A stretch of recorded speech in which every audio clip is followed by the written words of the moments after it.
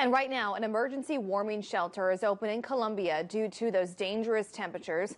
This also comes as Columbia leaders discuss changing the temperature at which they open these sites. ABC 17 Chanel Porter joins us live from the Wabash bus station. Chanel, you were at the council meeting last night where the city's Commission on Human Rights called on them to change the opening temperature, which is currently 9 degrees. Devin Lucas, in this report, the commission said that there's many cities that has a higher threshold than Columbia, including Lawrence, Kansas, which has a threshold of 35 degrees, and St. Peters, Missouri, which has a threshold of 20 degrees.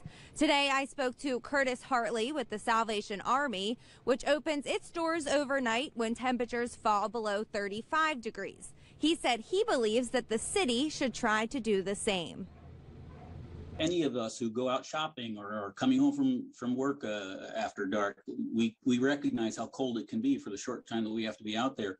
Uh, so then we can only imagine uh, the discomfort, the, the the frustration, and in fact the danger as the temperature gets uh, below freezing. The struggle to find warmth during the winter months is hard for some, but the Columbia City Council said opening up the emergency warming shelters more often would have challenges raise that temperature to the point people are going to migrate from those I think are well run, well staffed, volunteer, and, and city supported operations to something that is not well staffed. City manager De'Carla Seewood said the staffing concern is not just with city staff members. It's manned by a police officer. As you raise the temperature, that means you're going to have more opportunities for use, which means currently a police department that's really taxed you're now taking someone to to provide security for this location. While some council members are looking for further advice on this topic, others say they cannot keep putting this off. This has been a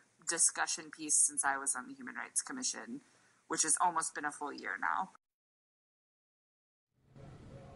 Wehner said the council should also be cognizant of the fact that it is the middle of January and temperatures will likely continue to remain low.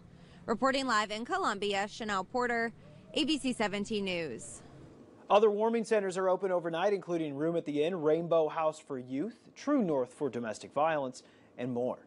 A full list can be found on our website. That's abc17news.com.